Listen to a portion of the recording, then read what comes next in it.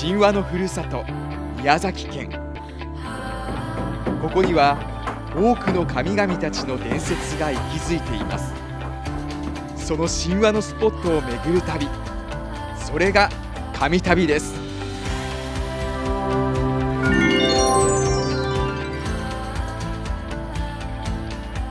さあ神旅始まりました。この番組は宮崎の神話の地を巡ります。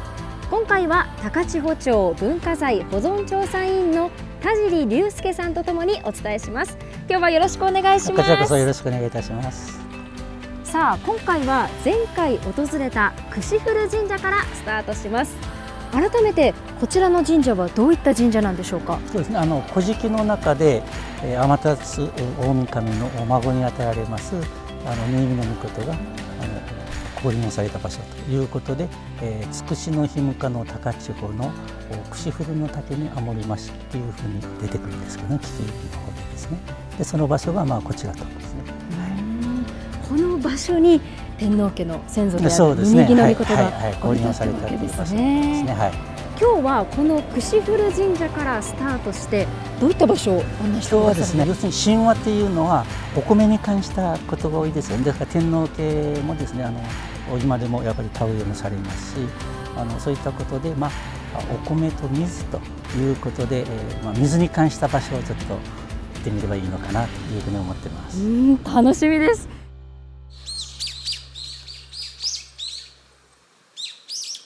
からどこに向かうんですか？今からですねその水の関係ということで、雨のまないというところに行きたいと思います。はい、はい、でこちらからずっと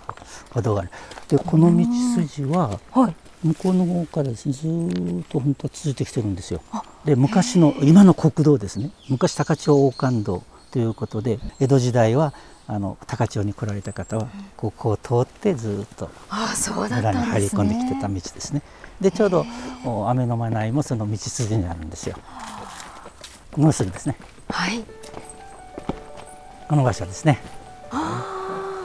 こちらがあそこのこう見える根元のところにその雨のまないの湧き水があるんです。根元から水が出てでその水があんなしてこう溢れた水が。だからここを神代川って言うんですけどね。はい、まあ前はすごいやっぱ水の量があって、でこの水がバーっといっぱいあの全部あの五ヶ瀬川の方に流れ込んでるんですよね。だから覗いてみてください。ここが雨のまないです。わあ、すごい。水が綺麗ですね。うんあの新木の御が降臨をされたんですけども、まあ、この地にあの水がなかったので、それで雨の村雲の御事っていう神様にですね命じてで雨の村雲の御事が天井にまた上がっていかれてそして雨のまないの水種を高千穂の方に持ってこられてそして、まあ、ここにまかれた、まあ、これは伝説なんですけどね、そういったお話があって雨のまないというあの井戸になってるんです。ということは地上にできた最初のそうですね、まあ、あの神話伝説からすればで古くからここはやはり神聖な場所としてこう崇められている場所ですね。そうで祠もこう外にあってね昔はねお宮があったんでしょうか今こう祠が残ってますけれども。であとまああのこの周辺の人たちはやはり正月のあの書き初めがありますよね。この水を汲んでね書き初めをするとかということで。この水は大切にこうされてきた水ですね。地元の人にも愛されているそうですね。場所なんですね、うん、でこの湧き水が地下を通って、はい、実はあるところにこうまた流れていっていると、はい、どこに流れているかというところあたりを、ね、また行ってみたいと思います、はい、やってきたのは車で10分ほどの高千穂峡。宮崎県でも屈指の観光スポットです。いやずいぶんこちら降りてきましたが。そうですね。谷の方にこうね、はい、ずっと降りてきました。この岩肌すごいでしょ。はい。ね。で、ね、ここがまあ地下水がですねずっとこう湧水としてこのちょうど岩の切れ目のところからこう流れてきているんですけれども実はこの水が先ほどの雨のまないの水と関係があるんです。えあんな離れてる場所とここが関係あるんですか、はい。はい、あのまま地下水となってそしてこの地下水がここにずっと流れ込んできていくわずっとそうですね。だから繋がってるんですね。上からそうここまで水がこう来てるんですね。すごいですね。ちょうど、まあ、湧水がこう出ているところの境目が、うん、あのまあ、その火砕流の12万年前と9万年前の火砕流が合ってるんですけどもそのちょうど境のところがちょっと柔らかくなるので、はい、凝結してですねそこからこう地下地がこうバーッとここに上げ出しているということでここだから玉だれの滝というふうに言うんですけれども。そうなんですね。この水があそのままこう流れていくんですけども、高千穂の中心街の三田地区に住んでいらっしゃる方はこの水が水道の水になる上水道なんです、まあ、先ほどのあの雨のまないのあの水なので、まあ、水死清らかな水を神の水を飲んで生活をしているということですよね。であとずっとこう、はい、えこの水の流れをこう辿っていきましょうか。はい、わあ立派な池ですね。うん、おどころ池っていうんですけどね。上の滝の水が池の方にこう水がまた入ってきて、でその水がまた向こうに流れていくということで。そうですね、うん、ずっとつながってるってことですよね。ね。おのころ池あまり聞き慣れない言葉ですけれども。おのころってどういうおのころっていうのはあの神話の中でね出てくるお話なんですけれども、はい、まあイザナギの神そしてイザナミの神っていうまああのえー、男女の神様が雨の浮き橋からこうずっと地上を見られるとまだ混沌としてたので、それでこう雨ののぼこっていう槍をこうスーッと2人で下ろされるんですね、そしてパッと引いたら潮の塊がポトンと落ちてきるでそこがこう島になってでそれをおのころ島というふうに言うんですけれどもでそこにこう降臨をされて降りてこられてそしてお二人結婚をされてですね。で今の日本の国々とそして、えー、たくさんの自然の神様をあのお産みになるという神話の話があるんですよ。でまあ、その象徴としてここを、まあ、おのころ島そしてあちらですそうです。あの祠を象徴としておのころ島。でここの池をおのころ池っていうようなこう風にですね。もういつの頃からかそういったこう名前が付けられて。でここが重要なのはこう今上から降りてくると水ですね。あれは雨のまないの水なので、はい、要するに神聖な水ということでそれがこの池の中にこう入り込んでるんですがここで高千穂神社の4月16日の高千穂神社のあのお祭りの時はあのみこしの行列がこう下に降りてきてそして、えー、みこしがですねこの中に入ってここに入るんですここに入るんです。でそしてここ、ね、3回ずっと回って、はい、そして市中の方にあのずっと神様をお連れしてずっとご神行行列をするということで、まあ、ここはあの一つのみそぎ場みたいになってるんですね。ですからここはやっぱり生活とそれから信仰の場所ですね、うん、この水がずっとこちらにこう流れ込んでいっているので、はい、あここですね。そうですね。流れてるんですね、はい、ちょっとね今水の量が少ないんですけどね、うん、ここにこう溜まってきてますね。わずっとつながってるっていうのがすごいですねでここの水が今度は下の谷の方に落ちていくので、はい、その状態がどういう状態なのかというのを見てみましょう。はい、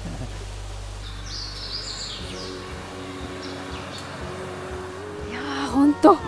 絶景ですね。そうですね。今日はね天気もいいし、いいですね。綺麗ですよね湯原はね。ちらが。そうですね。はい。これがあのこのあの滝は真名の滝というんですけども、はい、このここにずっとねあの水がこちらの方にこう流れて、えー、あの滝の状態でこう川に注いでいる。うわ本当。綺麗ですね。へえ雨のまないのお、まあ、水が、まあ、地下水と、まあ、一緒になって地下水としてこう流れてくるということで、まあ、それで真名というですね名称をそのまま使っている本当絶景です。滝だけではなくこういった岩もすごい神秘的ですね。そうですね。はい。だいたいここを中心に上流下流3キロぐらいが割とこんな中上設備っていうんですけども、はい、岩柱状の状態になってますよね。で中上設備とこういったこう岩肌がずっとあるんですよで下がまあ12万年前でこの上の方がだいたい9万年前いうふうに言われてちょっとこう境がこうちょっと分かりますけれどもですから五ヶ瀬川峡谷高千穂峡は国指定名勝天然記念物という指定になってるんですよね。いや本当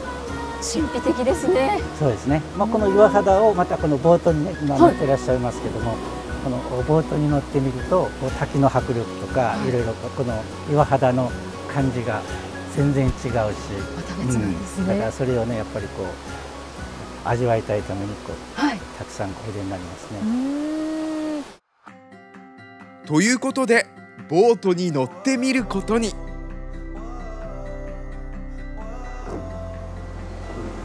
うわこちらが滝ですね。マナイの滝ですね。すごい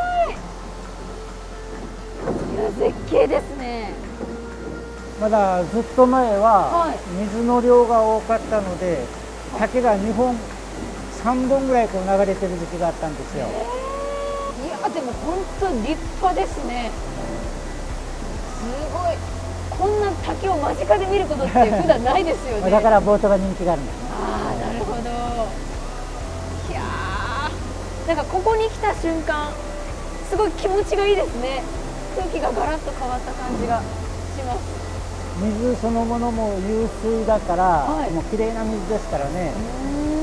だからマナイっていう意味は、はい、高間ヶ原天の世界の清らかな水清水という意味合いなんですよ。水が透き通ってますもんね。ですね。綺麗。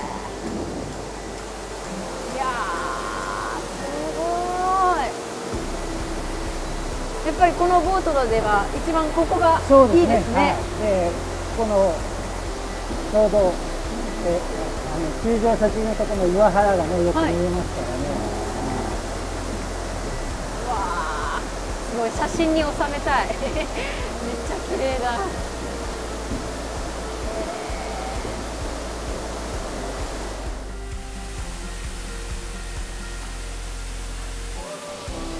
どうですか？だいぶ違うでしょ？本当綺麗ですね、ね、やっぱりさっきと違いますね、うん、上から見るとねまた迫力がまたありますし、この高千穂峡は俗称で五ヶ瀬川峡谷っていうのがあの国の指定の正式な名称になってるんですよ。であのまあ、この川五ヶ瀬川ということで上流はずっとあの倉岡あの五ヶ瀬町の奥の方熊本の境までこう上流になってでこの水はそのまま東に向かって延岡の方に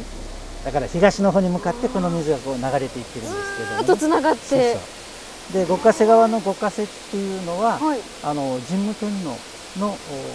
え一番上のお兄さんがですね五瀬の御事とおっしゃるんですよ、えーと、五ヶ瀬の書いてですね。だから五瀬の瀬っていうのもやはり稲穂の子に関係があってですからまあこの川の名前もやはり神話神様のにちなんだそういった名前を付けていると。いうことで、まあ、新都高千はもうあらゆるところにこう神様 との関連のそういった伝説とかがねこう全部残ってきているといういややっぱり高千をはじめ宮崎というのは本当神話に恵まれてるんですよね。ね。いや今日は高千穂の水にまつわる場所をたくさんいろいろたどることができました。勉強になりました、ありがとうございました